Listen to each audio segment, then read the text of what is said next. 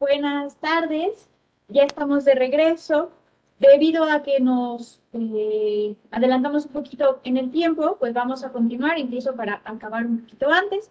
Como ya les había mencionado el ingeniero Leobardo, mi nombre es Michelle Munive, vamos a continuar con el tema de inventarios.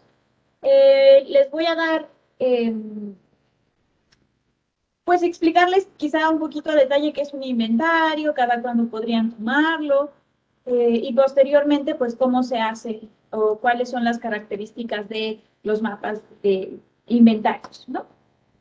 Em, el día de hoy, pues ya saben, estamos a 19 y entonces el siguiente tema sería la integración de toda la información que acabamos de, ver con el ingeniero Leobardo para el mapa inventario.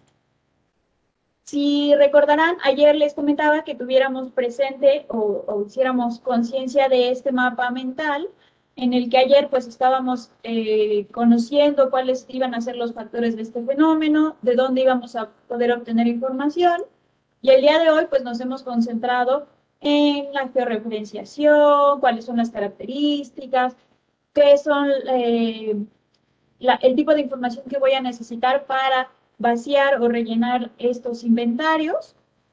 Y específicamente, pues no solo necesitamos casos que estén ocurriendo en este momento, sino también casos eh, en el pasado, porque esto nos va a ir ayudando para ir después amarrando lo que son los mapas de peligro y riesgo.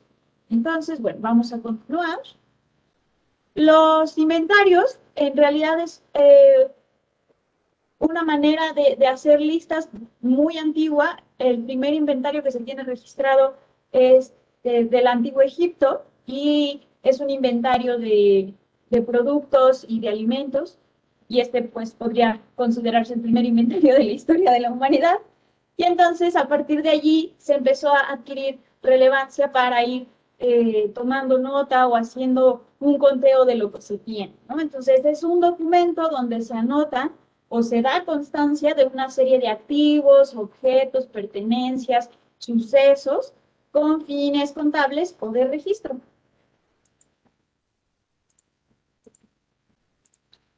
Eh, depende también con qué frecuencia se lleve a cabo o con qué frecuencia se tomen estos datos, y básicamente serían cuatro tipos de inventario. Un inventario anual, pues ya como sabemos quiere, decir que se va a llevar a cabo al final del año. Eh, un inventario periódico, que quiere decir que varias veces al año, en determinadas fechas, se va a hacer este, esta revisión o este conteo. Un inventario cíclico o rotativo, que quiere decir que es un recuento regular, distribuido durante el año y prioriza el conteo de una referencia sobre otras. Por ejemplo, en nuestro caso, el inventario que se tiene en la subdirección eh, podría decirse que a veces es eh, cíclico o rotativo porque buscamos la mayor, el mayor número de casos cada vez que llueve o en la temporada de lluvias, ¿no? Entonces buscamos o hacemos el conteo de cuántos estados o cuántos deslizamientos y cuántos flujos de, de, lodo hubo durante cierto periodo o durante cierto mes. Y finalmente, pues está el inventario permanente o perpetuo, que se actualiza de forma constante. Esto quiere decir que diariamente se le está eh, incorporando nuevos datos, o se está haciendo una revisión y entonces se actualiza. Eh, como les decía ayer, eh, hay mucha información ya disponible en otras instituciones, en otras páginas, incluso en las redes sociales, como ya también les comentaba el ingeniero Leobardo, las noticias, los documentos, los artículos contienen mucha información valiosa que podemos incorporar a nuestro, eh, a nuestro inventario. Específicamente si estamos llevando el inventario del Estado, va a ser muy importante que revisemos los artículos, las tesis, todos estos documentos académicos pueden contener eh, casos documentados con coordenadas o con mapas y entonces esto va a ser funcional para que nosotros podamos después determinar si nuestros mapas de susceptibilidad y peligro, pues eh, se corroboran. Eh, los mapas inventarios, pues van a contener áreas o sitios que han presentado procesos de inestabilidad de ladera o que pueden volver a sufrir. Y lo que vamos a buscar es que haya eh, una localización espacial, una recopilación y vaciado de información. Eh, esto no es que la subdirección dinámica de suelo se los quieren poner a los estados o a los municipios, ¿no? O que digan, Michelle me dijo, no. Esto está en el diario oficial de la Nación, en la guía de contenido mínimo. Y entonces aquí vamos a encontrar que para la evaluación del riesgo de inestabilidad de laderas se necesita un inventario de casos documentados representativos de la zona o la región de estudio, que además eh, se debe utilizar el formato de captura y de ordenamiento de información que se encuentra en el anexo 1, como lo veíamos ayer también con, el ingeniero Salvador. Ese anexo viene incluido en esta guía de contenido, lo pueden ustedes revisar.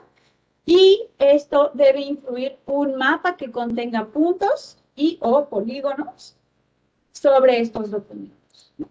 Además, bueno, esta información debe definir las variables, debe tener un análisis de susceptibilidad, es decir, mi inventario dentro de mis columnas debe de estar si es roca metamórfica, si es roca sedimentaria, si es em, derrumbe o caído de roca, si es un tipo de lodo, en qué momento ocurrió, si yo sé que eso está dentro de una región, entonces es la región tal, si yo sé que fue detonado por un frente frío, pongo frente frío número 5 frente frío número 43, ¿no? Hay que empezar a ser muy, muy específicos.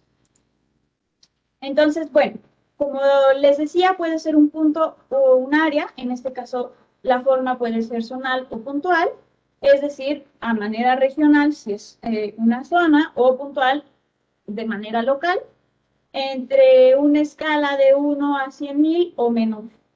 Como les decía, debe tener la fecha del evento. Es muy importante la fecha porque, porque también de esta manera vamos a poder hacer posteriormente estadísticas, ¿no? Determinar cuántos deslizamientos por mes, cuántos deslizamientos en los primeros cinco días del mes, cuántos deslizamientos por año. Esto es muy importante porque los registros que tenemos con el inventario dentro de la subdirección, hemos notado que en los últimos dos años eh, los deslizamientos o, la inestabilidad de laderas ha aumentado. Generalmente los tenemos todo el año, mucho más marcado en la temporada de lluvias, de mayo a noviembre, pero en los últimos años ha aumentado muchísimo los casos que, registramos. Lo que les decía, ¿dónde se ubica? ¿En qué país? Estamos haciendo, eh, digamos, un inventario conjunto, a lo mejor con, con los eh, países vecinos, ya sea Guatemala, que también presenta este caso, pues también, ¿no? Poner si son de allá o son de acá, qué municipio, qué ciudad, qué localidad. Esto es muy importante, sobre todo cuando no tenemos coordenadas, porque cuando menos nos va a decir en qué municipio y entonces ya tenemos un, referente. Lo que le decía también el, ingeniero Leobardo, qué tipo de inestabilidad. Esto es importante también porque si yo no tengo específicamente qué tipo de roca, cuando menos sé que fue un deslizamiento o cuando menos sé que fue un caído y entonces esto ya me va a ir indicando cómo se va a comportar este caso o cómo se comportó este caso. Características de origen, lo que les decía, rocas, si tengo el tipo de suelo también, si tengo, si es que fue detonado por alguna actividad humana, también se pone en ese inventario. Fue eh, provocado por alguna excavación, fue provocado por alguna construcción de un edificio, un corte carretero, fue un corte para hacer alguna, eh, alguna vivienda, fue un cambio de uso de suelo, etc. Entonces, bueno, también, como les mencionaba, hay que incluir cuál es el detonante. Se acordarán de los factores detonantes. Eh, los principales para, el caso de la República Mexicana, pues son los terremotos, y entonces aquí vamos a tener que decir dónde fue el epicentro, cuántos kilómetros, cuál fue su magnitud, Generalmente si son eh, terremotos muy grandes se les pone un nombre y entonces hay que, eh, hay que definirlo, eso también se puede integrar. Precipitaciones, pues si fue huracán, si fue un frente frío, si fue lluvia puntual, si fue una granizada, incluso se pone aquí también, y entonces hay que poner la intensidad y los milímetros de contar con esa información. Lo que les mencionaba, si fue una actividad humana, qué tipo de actividad, y aquí es importante eh, señalar que eh, deja de tener un componente natural la inestabilidad de laderas una vez que ya hay una intervención, por mínima que sea, del, del ser humano. ¿no? Si yo ya quite árboles, si yo ya puse una milpa, si yo ya eh, provoqué un incendio, si yo ya hice mi casa, si yo ya construí una escuela sobre esa ladera, esa ladera ya está eh, modificada, intervenida y entonces la inestabilidad de ladera ya no va a ser un factor natural, ya va a ser una eh, amenaza humana. También hay que considerar que el fenómeno pues, provoca lesionados, decesos y afectaciones a infraestructura y vivienda. Entonces, esto también se debe considerar dentro de un inventario, ¿no? Cuántas casas, es que tengo el dato, cuántas personas lesionadas, cuántos rescatados. Lo que a veces también funciona mucho es saber si esta zona o esta colonia o esta comunidad se va a reubicar o cuántas personas se van a reubicar. Entonces eso también debe venir dentro del contenido de, del inventario, dentro del, del, formato Excel que se quiere usar o, el formato que se decida o se determine para llevar este conteo. Los casos, pues como les decía también el ingeniero Leobardo, lo más detallados posibles y sí deben contener información histórica de acuerdo con la Ley General del Diario Oficial de la Nación, en el contenido mínimo, tiene que tener un periodo no menor a 10 años. Este tema, generalmente cuando hacemos la revisión de Atlas, es uno de los factores que les quita eh, puntos o que les da eh, malas notas, porque no viene un inventario, porque mandan quizá nada más las fotos, porque nada más hay un compendio fotográfico. En el caso específico de inestabilidad de laderas, se requiere sí o sí un eh, inventario y un mapa inventario. Así tengan 20 casos, 10 casos, solo casos históricos, incluso que sean de, muchos años atrás, como, lo tenemos en, la subdirección, hay casos de 1900, de 1900, hay casos de 1920, podrían ser casos muy remotos, pero si no se consideran, entonces los mapas de peligro que estamos generando ahorita no tienen razón de ser, ¿no? Y entonces estos casos, aunque sean muy antiguos, nos van a decir si en esas zonas ya se expandió la mancha urbana, ya se puso alguna minera o algún otro tipo de actividad económica y entonces corren peligro. Entonces, bueno, en específico, los mapas eh, de inventario puntuales pues van a requerir coordenadas geográficas, ya sea UTM o algún otro tipo de, proyección, pero pues van a requerir eh, que esté eh, señalados dentro del mapa como se ve en el ejemplo. Van a contener ya un poco de información sobre la susceptibilidad, si ya estuvo intervenido, si es un deslizamiento antiguo, etc.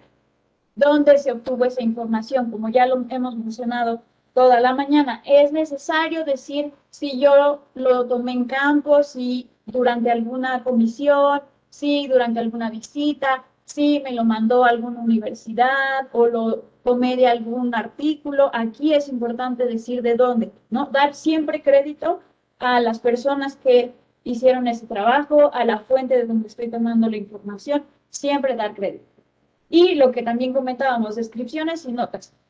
Si ya llené todas mis columnas, quizá lo más rápido posible, incluso para generar un filtro, hay que dejar un espacio de descripción y notas donde allí se va a poner todo lo demás que yo quiera eh, guardar sobre, esa, sobre ese proceso o sobre ese fenómeno.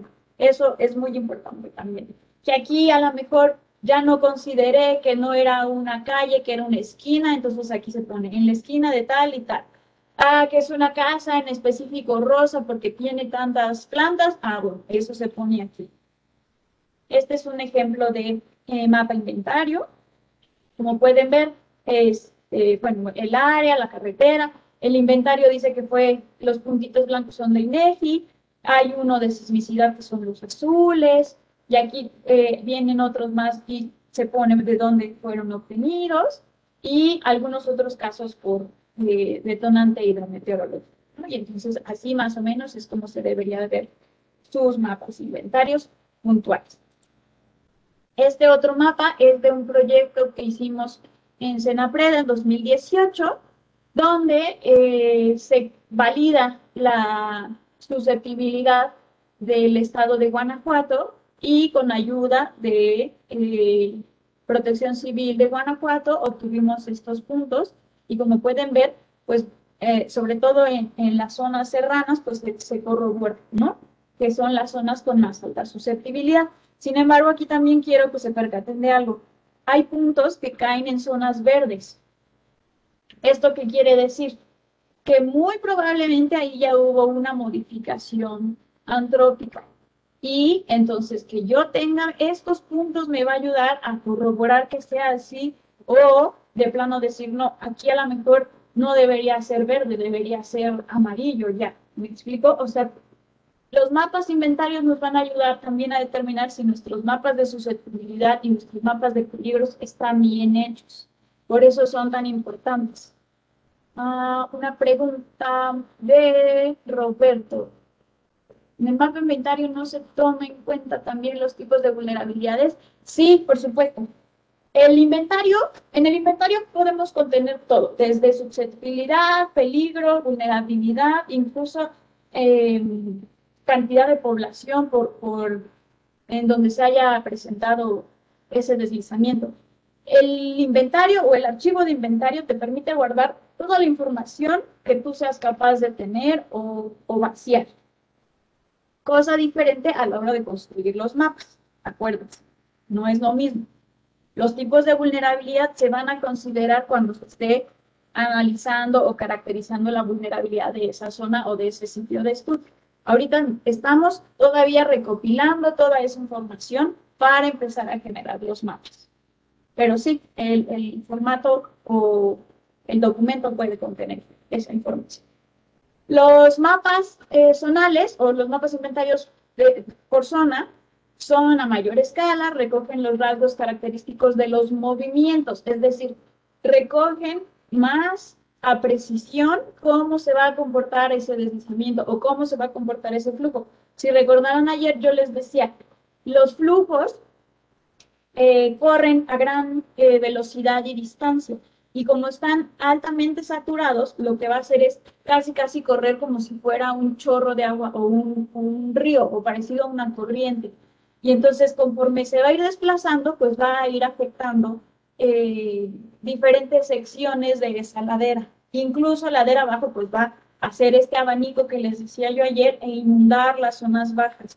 Entonces, estos mapas zonales nos van a ayudar a determinar todos esos pedacitos o todas esas zonas para entonces decir la zona de más alto, eh, de más alta susceptibilidad va a ser la zona media y la zona baja. O si es que arriba tengo otro tipo de roca u otro tipo de suelo y entonces puedo determinar, se va a comportar de, en la parte alta de esta manera, en la parte media de esta otra y en la parte baja así. Entonces cada sección va a tener un color y entonces en mi mapa inventario yo puedo empezar a determinar eso. En qué sección de mi ladera se va a ir comportando de qué manera o a qué velocidad puede ir de acuerdo a la pendiente, que el, grado de actividad que va a tener ese deslizamiento de ese flujo. Recuerden que también no siempre vamos a tener como el, el, ejemplo del libro, ¿no? O sea, perfectamente se ve que es un caído de roca, perfectamente se ve que es un flujo. Puede ser un movimiento complejo y entonces empezar como un deslizamiento y acabar como un flujo, que es un caso típico fue la pintada, o al revés, empezar a lo mejor como un caído y de momento queda el suelo expuesto y también el suelo se, se va. ¿no? Entonces es importante empezar a considerar que la información tiene que ser súper detallada y todo, todos estos elementos tienen que estar incorporados en este inventario. Eh, en específico, los mapas de zona pues tienen una información topográfica y geomorfológica, por lo que les acabo de explicar. Es una distribución espacial, no es puntual, espacial, como la pueden ver aquí en, este mapa. También sería importante si eh, ya vamos a determinar por zonas qué edad tiene, ¿no? Esto obviamente solo se puede realizar mediante campo, ¿no? Hay que hacer bastante trabajo de campo, hay que hacer una revisión exhaustiva de la geología, de algunas investigaciones de esa zona para ir determinando si es que ya es una zona antigua de deslizamientos o cuándo fue o cuándo se presentó el último movimiento o la última inestabilidad. Este es otro mapa, como pueden ver es una zona eh, de una zona en específico, ¿no? Y entonces ya tiene más detalle. Esto también va a ser importante de acuerdo a quién se le va a presentar la información. Si yo solo quiero corroborar que mi mapa de susceptibilidad o de peligro están recabando la información correctamente, quizá se necesita eh, otro tipo de escalas y solo ver un municipio o solo ver un estado, ¿no? Si lo que yo quiero es decirle a la gente dónde en específico no se debe refugiar si es que llueve, entonces este tipo de mapas van a funcionar.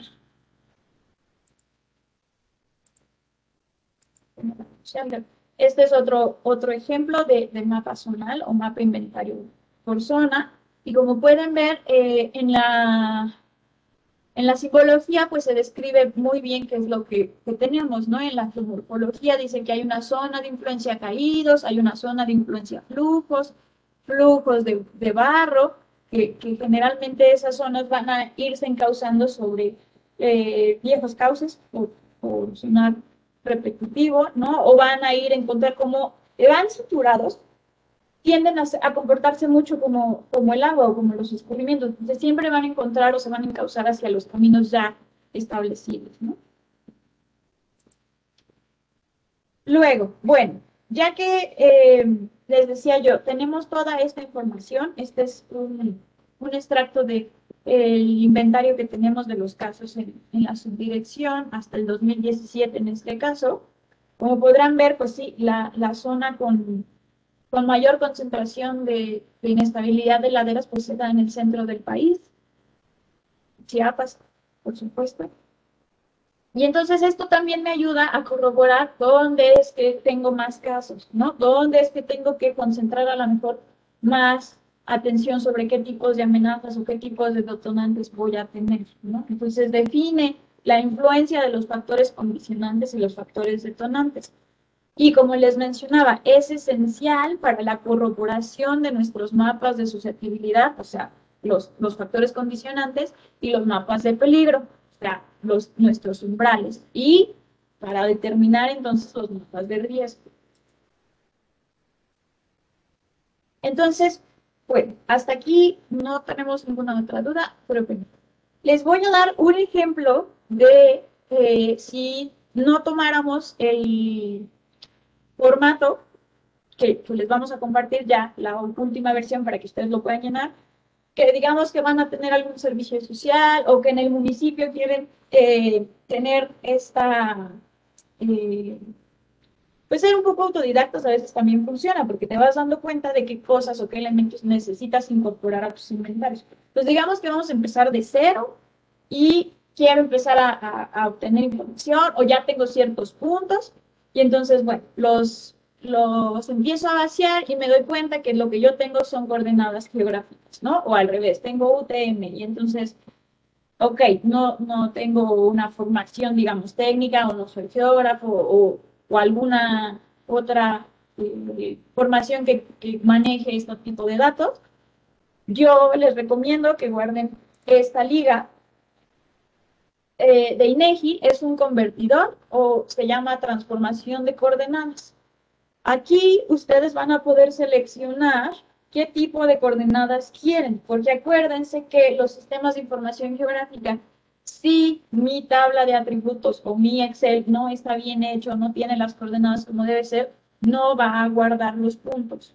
Entonces aquí yo puedo decir o eh, seleccionar cuáles, a cuáles coordenadas me interesa cambiar, ¿no? Si me interesa notación decimal, si me interesa sexagesimal, si las quiero cambiar a cónica conforme de Lambert, si las quiero cambiar a UTM. Este convertidor guárdenlo porque les puede salvar de incluso cosas de, trabajo, cualquier cosa que necesiten con coordenadas, esta es la mejor herramienta para, para convertirlos, ¿no? Entonces, bueno, ya me di cuenta que quizá las geográficas no son la mejor opción y lo quiero convertir a UTM, entonces conforme yo vaya aquí poniendo mis coordenadas, eh, hacia abajo se despliega la ventana y entonces me, va a entregar las ITR92 o cualquier otro tipo de coordenadas y yo ya puedo pasar esa información a mi eh, base de datos. Otra cosa que también les quiero eh, compartir, si es que mayormente sé que a veces usamos ARGIS cuando tenemos la licencia y si no, es un poco parecido también en QGIS. Cuando yo ya tengo mi Excel eh, y lo quiero ya pasar o lo quiero ya ver en el sistema de información, lo que hay que hacer es, eh, en este caso aquí en la crucecita, agregar eh, información, o sí, agregar la información, abrimos nuestro Excel y nos va a desplegar la hoja o las hojas que, tengamos en, ese documento. Una vez que lo seleccionamos, nos lo va a abrir en, el, en, el, en la plataforma y en, esta, en este caso, botón derecho y nos vamos al display XY, es decir, pues nuestras coordenadas XY. Aquí se va a desplegar la ventana donde nosotros podemos definir qué coordenadas queremos utilizar. Recuerden que en el Excel tiene que estar muy claro cuál es eh, longitud, cuál es latitud, cuál es X o cuál es Y. Y entonces esto va a facilitarle al programa escoger las coordenadas, ¿no? En dado caso que además de, las coordenadas yo tenga la, la altitud o de ese punto, que lo haya tomado con algún GPS o que lo haya tomado con algún dispositivo mientras hacía el trabajo de campo. También se puede incorporar a la base de datos y, por supuesto, si, si la eh, clasificamos correctamente, también la podemos seleccionar a la hora de estar generando nuestra capa de puntos. Recuerden que aquí es muy importante, no importa el sistema que estén usando, definir la proyección geográfica. Porque si yo no le defino me la va a poner en China, me la va a poner en África y entonces a la hora de querer yo juntar con otras capas no lo voy a poder ver. Es importante aquí definir cuál va a ser nuestra proyección. En este caso en editar podemos eh, seleccionar ya sea la UTM por zonas o la ITR, de acuerdo a donde estemos trabajando es importante conocer qué proyección es la mejor para seguir realizando este trabajo, ¿no? ¿Por qué? Porque a partir de aquí ya vamos a, comenzar a construir los mapas y entonces toda la información a partir de ahorita va a tener que tener esa misma proyección, porque si no, entonces al rato que quieran juntar va a ser un jaladero de cosas, se los digo por experiencia, siempre guarden todos sus archivos en un solo sitio y en la misma proyección con las mismas coordenadas. Eso les va a facilitar y les va a reducir horas inmensas de, de talacha y de trabajo ah, bueno, les decía de la producción. Posteriormente, eh, ya se me van a desplegar eh, de manera de capa de puntos. Como pueden ver, este es un ejemplo de Colima. Y entonces, para yo estar, eh, para yo seguir viendo mi tabla de atributos ya dentro de, del ARGIS, yo puedo darle en tabla de atributos, en Open Attribute Table, y entonces ya me va a desplegar esta tabla de atributos. En este caso, como lo vimos en el ejemplo del Excel, tengo las coordenadas geográficas y las coordenadas UTM. Acuérdense que también dentro de las plataformas o dentro de los sistemas de información podemos editar las tablas de atributos y estas igualmente se guardan. Para abrir eh, en Excel estas tablas de atributos, acuérdense que es el archivo DBF, ese archivo donde tengan guardadas sus capas, lo pueden jalar hacia Excel y se va a desplegar ya como una una tabla Excel, eso también es posible. Y entonces, bueno, hacia aquí también podríamos editar, cambiar el color, cambiar el punto, que, ah, no, me equivoqué, este punto ya era de otro estado, entonces desde aquí también se puede eh, editar o borrar. este es uh, el ejemplo de la tabla de, de inventario que nosotros tenemos en la subdirección. Lo que quiero que noten aquí es que, bueno, para nosotros es muy importante saber de qué estado es. Como verán, pues no tenemos todas las coordenadas porque obviamente muchos de los, em, de los casos a veces los obtenemos de noticias o las obtenemos de algún otro tipo de fuente de información y a veces pues no traen esa, em, ese dato, ¿no? Pero aquí, como, como comentábamos, pueden ustedes, si es que tienen alguien que ya sabe manejar Google Earth o que sabe manejar Maps o algún otro tipo de herramienta de, localización. A veces si las calles están muy precisas o es una esquina, entonces es fácil que podamos identificar las calles en, Internet y entonces en el Google Earth ponemos ahí el punto y de esa manera pues nos fuimos ya de una coordenada más precisa o de un, punto un poco más cercano a donde ocurrió el deslizamiento. Nosotros también eh, tenemos, pues bueno, qué tipo de fenómenos, si fue antrópico, si fue hidráulico, si fue una fuga de agua, ¿no? Hidráulico generalmente, o si se combinó con una fuga y luego llovió, o si solo es eh, algún frente frío, ¿no? En este caso el huracán Olaf es importante determinar de dónde vino. ¿Por qué? Porque de esta manera también yo puedo eh, filtrar y decir, tantos sí están corroborados, tantos son noticia, y de estos, pues, 50 no estoy segura, ¿no? ¿Por qué? Pues porque no tiene una coordenada, no viene una fotografía, quizás no he ido a esa zona, ¿no? Entonces, no podría yo decir que esta información fidedigna. Es una base de datos, pero hay que corroborar en el momento que se, se pueda, de, de, la manera que se pueda, ¿no? Ya sea con otra noticia, ya sea yendo al sitio, ya sea haciendo alguna llamada al municipio, hay que corroborar esta información siempre.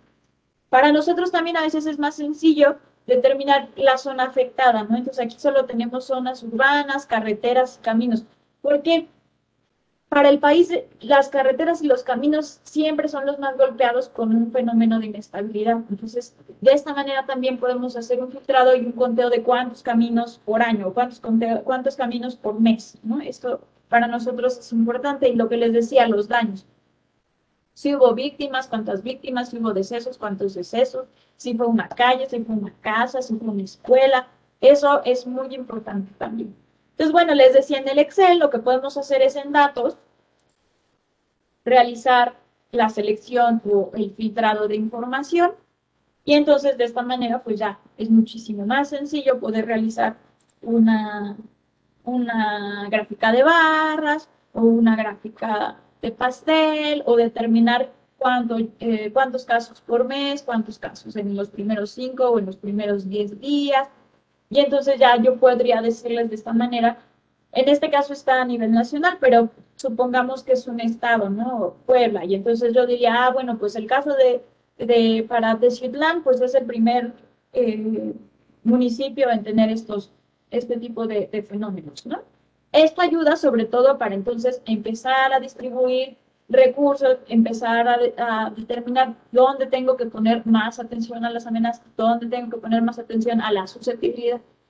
También, pues, para determinar qué infraestructura es la más afectada, ¿no? Como les decía, en, en el caso del país, pues el 61% de los casos ocurren en caminos y carreteras, 21% en zonas urbanas, donde ya les había dicho, ya hay una modificación, hay una intervención 13% eh, en zonas rurales o de cultivo, áreas naturales, eh, áreas que a lo mejor sufrieron algún incendio.